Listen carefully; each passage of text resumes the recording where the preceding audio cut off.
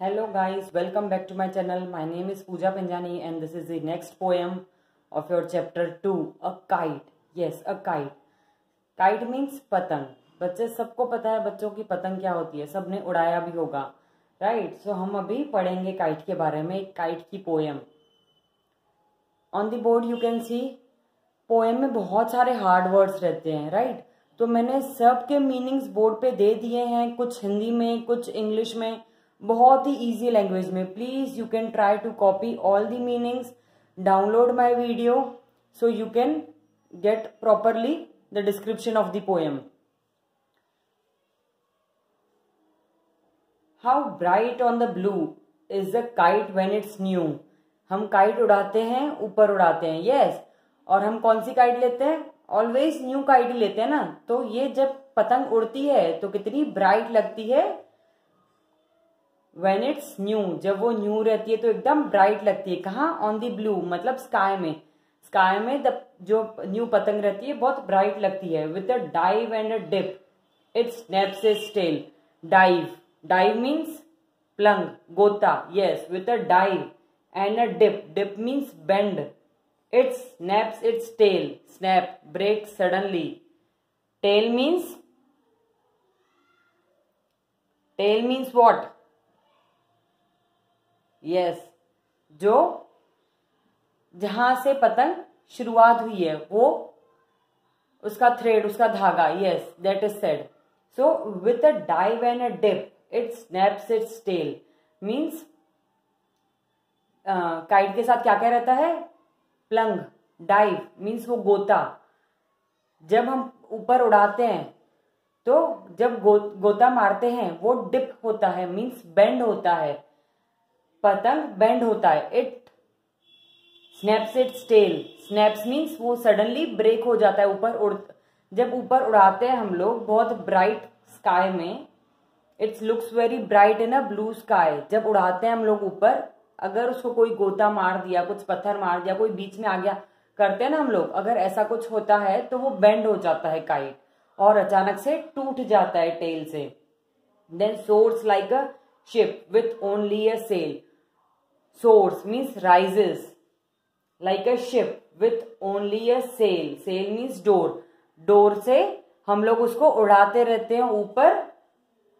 Then soars like a ship ship की तरह वो ऊपर उड़ते रहता है, उड़ते रहता है.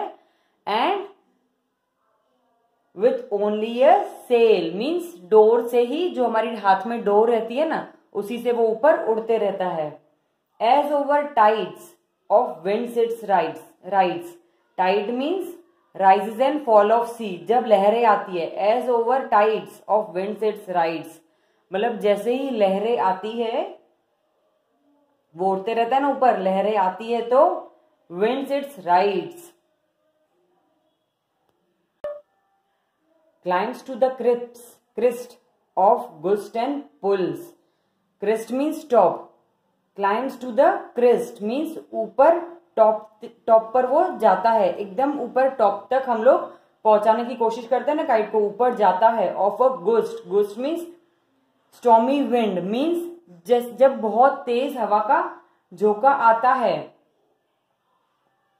एंड पुल्स मूव फॉरवर्ड और वो आगे चलते जाता है। जैसे ही हवा आती है तो ही पतंग उड़ता है ना? तो और ऊपर चलते जाता है। Then seems to rest as winds fall जैसे ही हवा कम होती है वो पतंग धीरे धीरे नीचे आने लगता है। When string go slack you wind its back जैसे ही स्ट्रिंग लूज होती है, जो हमारा धागा लूज होते जाता है,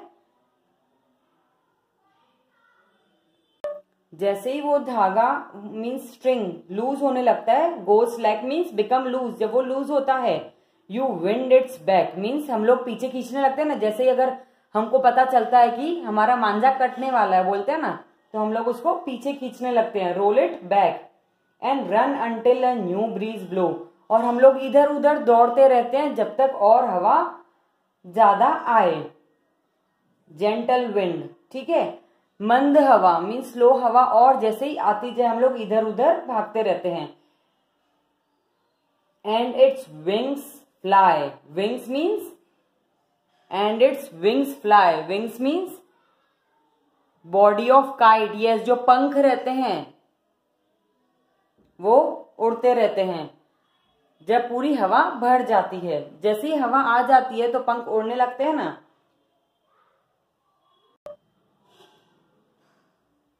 यस फिर क्या है? एंड इट्स विंग्स फिल मतलब पूरी हवा भर जाती है पंखों में एंड अप इट गोज फिर और वो ऊपर जाने लगता है। How bright on the blue is a kite when it's new जब काइट न्यू रहता है तो कितना ब्राइट लगता है स्काई में। But a rag ragger thing you never will see means कोई रफ चीज़ अगर दिख गई रफ मीन्स पूरा फट कोई फटी हुई चीज़ आपको कोई दिख गई।